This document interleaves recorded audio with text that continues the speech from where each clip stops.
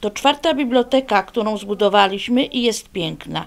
因此，图书馆不仅仅是一个邀请阅读的地方。 De cert, are în urma mii de copii, tineri și adulți, care cu efortul lor au făcut posibil existența ei.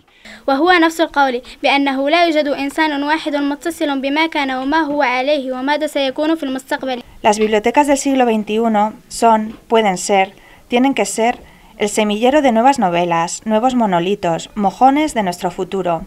Estos son algunos pequeños fragmentos del pregón del Día de la Biblioteca celebrado el miércoles en la de Calamocha, donde se leyó en cinco idiomas por diferentes residentes en Calamocha cuyos orígenes son muy distintos.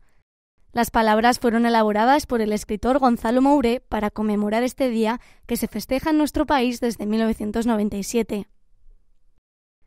La biblioteca municipal fue el lugar de unión de cinco culturas distintas presentes en la localidad, que se sumaron a la celebración compartiendo su lengua. De hablar de algo de la biblioteca, de la importancia que tiene la biblioteca y la lectura. Te veo muy ilusionada por leer esto y formar Sí. este día. Sí, estoy muy contenta, la verdad, porque voy a dar información de mi idioma a más gente, entonces me hace ilusión, muchísima ilusión, la verdad. Ha sido por parte de mi padre, eh, que ha dicho que leyera y digo, pues vale, entonces me ha parecido bien, tampoco sabía muy bien de qué iba esto, pero...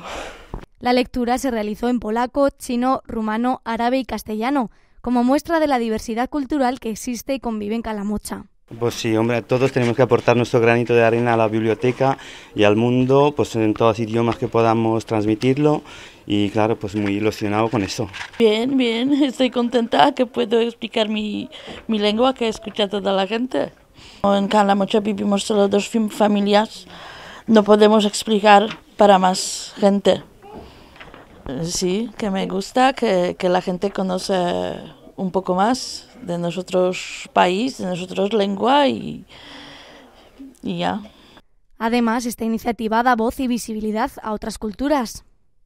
No sé, nos ha parecido una idea bonita, pues porque como digo, pues era una forma también de integrar, porque al final el espacio y la cultura es un espacio de integración. Y era pues, no sé, aportar nuestro granito de arena, pues para conocernos un todo- todos un poco más y estrechar lazos. El objetivo de esta jornada también es dar a conocer la labor que las bibliotecas desempeñan en la sociedad, así como quienes las atienden.